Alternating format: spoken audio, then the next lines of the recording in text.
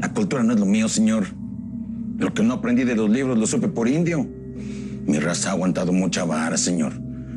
Por eso no sobra olfato para saber de dónde viene la pólvora. Me hice balazos. Los libros no detienen las balas. ¿Se entendió? Oh, me puse muy romántico. Qué bien bajado ese balón indio. Buena respuesta. Pero a lo que voy es que hoy estamos aquí gracias a lo que pasó ayer. Y al perro que tiene mucha plata se le dice señor perro. Y de eso hoy yo tengo mucha. El poder no tiene nada que ver con los años, Amaro. ¿Qué tenés vos? ¿50, 60? ¿Y qué tenés en tus bolsillos? No tenés nada. Las últimas caletas que tenías te las gastaste pagando mordidas para salir de la cárcel. Ni siquiera creaste tu propio cartel. Porque siempre fuiste un segundón del Teca Martínez, como al hijo del Teca lo mataron. Todo el mundo sabe en este business que sin mí el cártel de Tijuana no fuera sobrevivido tantos años. ¿eh? La lana sola no sirve para nada porque se gasta más fácilmente. ¿eh? Aunque se arriesgue más la vida cuando se gana que cuando se gasta. ¿eh? Tengo contactos igual suficientes para volver a parar en mis dos patas. Lo único que necesito es alguien que cuando se empape salpique. ¿eh? Usted tiene mucho barro y sabe más que un chile relleno, pero no ha podido llegar al gabacho sino desviando la mercancía por Venezuela, Panamá o Costa Rica. Eh, me gusta tu estilo de zorro viejo. Mis informantes tenían razón. No te dejas chimbi de nadie, ¿no? A mí también me habían dicho que usted era un hueso de los duros, señor Romero. Entrando su mercancía por mi territorio se va a ahorrar mucha lana. Bueno, cuente a ver qué tiene para ofrecerme. ¿Le suena el Golfo de México? ¿Ah? El mero presidente de México me está garantizando el paso. Lo único que quiere a cambio son 50 millones de los verdes. ¿Qué?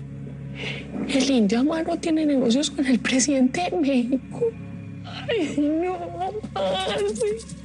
Ese hijo de Roscas me tenía una trampa para que me matara. Yo soy una. Así como caigo. Me van a matar. Ahora sí me van a matar. El presidente de México está de nuestro lado. Eh, qué belleza de dato. ¿Y cómo estás haciendo con la fronteriza ahora que está jodiendo tanto? Por Texas la mercancía la cruzamos como si fueran juguetes para la beneficencia.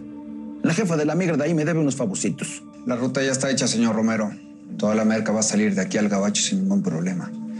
Con tal de que no nos metamos a la costa oeste ni joder ahí al cartel de Sinaloa, todo va a estar bien. Tenemos un trato, Amaro. Buena decisión, señor. Eso sí, no me salgas con huevo. Que a ustedes, los narcos mexicanos, les gusta matarse los unos a los otros y colgar las cabezas en los puentes y todo eso.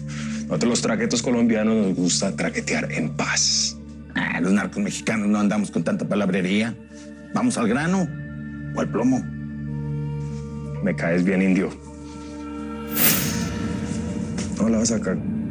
Que yo la chafa me la voy a hasta dormido. Ay, parce, parce, caí en una trampa. Caí en la trampa del indio Amaro y de Roscas. Yo soy una güey, parce. Van a matar.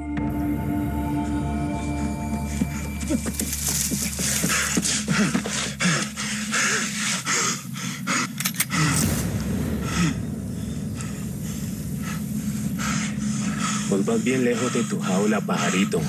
Decime, ¿a dónde vas al empecuecado? Estaba buscando el baño. Está bien pinche en la casa.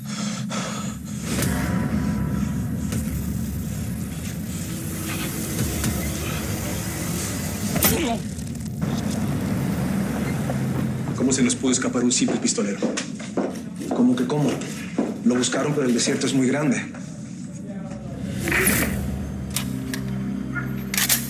Thanks, man. I owe you. A la... Toma eso, Sí, mira. Estaba lejos y nos ganó ventaja corriendo. Seguramente era uno de los tantos narcos que cazan migrantes para secuestrarlos. Los perros encontraron esta camisa. Igual y podemos checar su ADN. Tú, para- pare. Yo lo llevo al laboratorio. Gracias. Daniel Phillips se escapó, señores. ¿Cómo?